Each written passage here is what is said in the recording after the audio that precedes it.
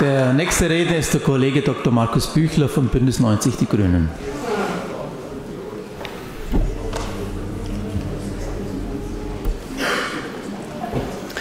Sehr geehrter Herr Präsident, sehr geehrte Kolleginnen und Kollegen! Lieber Kollege Schwab, Sie sagen, die Staatsregierung hat schon angeblich ein tolles Zukunftskonzept für das nächste Jahrzehnt und Sie hätten schon einen Zukunftsrat. Aber wenn man sich die einzelnen Maßnahmen, die da beschlossen worden sind, anschaut, dann haben Sie doch, abgesehen von der sündhaft teuren zweiten Stammstrecke hier in München, die höchst umstritten ist von ihrem verkehrlichen Nutzen her, haben Sie doch auch nur lauter Klein-Klein-Maßnahmen drin. Wir brauchen noch einen wesentlich größeren äh, Wurf, wenn wir attraktiven ÖPNV anbieten wollen, wenn wir erreichen wollen, äh, dass wir die Klimaschutzziele erreichen, wenn wir erreichen wollen, dass deutlich mehr Menschen den ÖPNV in Bayern nutzen können, sowohl in der Stadt wie auch auf dem Land. Wenn wir so weitermachen, wie Sie es in Ihren Konzepten drinstehen haben, dann wird es doch auch in zehn Jahren noch so sein, dass auf dem Land gerade mal ein Schulbus zwei oder dreimal am Tag fährt und dass in der Stadt die ganzen äh, U-Bahnen und S-Bahnen überberstend voll sind mit Leuten und die Leute weiterhin das Auto nutzen, weil sie sagen, die Sardinenbüchsen, die tue ich mir nicht an im täglichen Berufsverkehr. Wir brauchen doch Ziele, äh, die ermöglichen, dass wir doppelt so viele Fahrgäste im öffentlichen Nahverkehr transportieren können, wenn wir eine Verkehrswende einleiten wollen. Und dafür brauchen wir Ziele, davon abgeleitete Maßnahmen, die Infrastrukturinvestitionen nach sich ziehen, mit denen solche Ziele dann erreicht werden können. Und da versagen Sie von der Staatsregierung meines Erachtens auf voller äh, Länge, denn Sie kommen ja noch nicht einmal einer gesetzlichen Pflichten nach.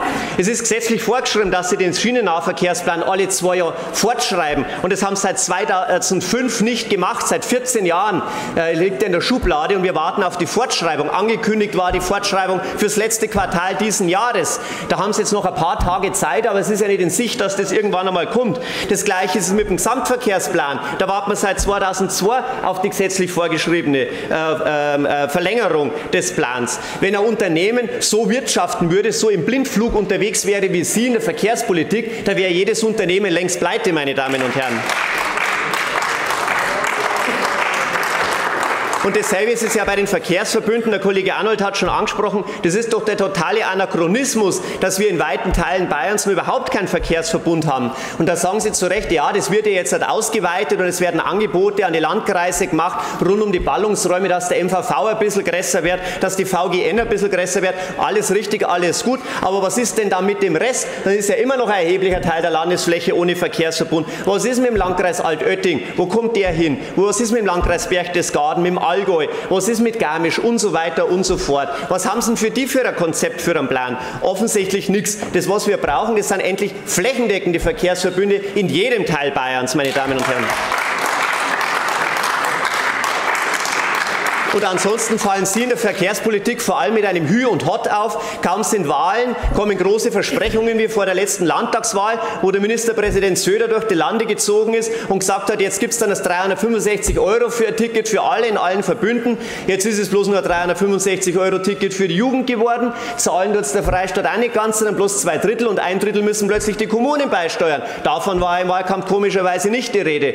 Oder in den Ballungsräumen hat es geheißen vom Ministerpräsidenten Söder, alle 20 Minuten wird die S-Bahn äh, fahren nach der Wahl, auch an den Außenästen, zum Beispiel der Münchner S-Bahn. Und hinterher hat sich herausgestellt, das geht nicht, weil die Gleise nicht lang, das Personal nicht lang und die Züge nicht langen. Hätte man vorher auch wissen können. Dieses Hü und Hot müssen Sie meines Erachtens dringend beenden. Äh, diesen Blindflug in der Verkehrspolitik. Legen Sie einen Schienennahverkehrsplan vor, legen Sie einen Gesamtverkehrsplan vor, davon abgeleitet einen Investitionsplan, äh, der dazu führt, dass wir doppelt so viele Leute mit dem ÖPNV transportieren können. Dann haben wir auch eine Chance, unsere Klimaschutzziele zu erreichen. Deswegen stimmen wir dem Antrag der SPD zu. Vielen Dank.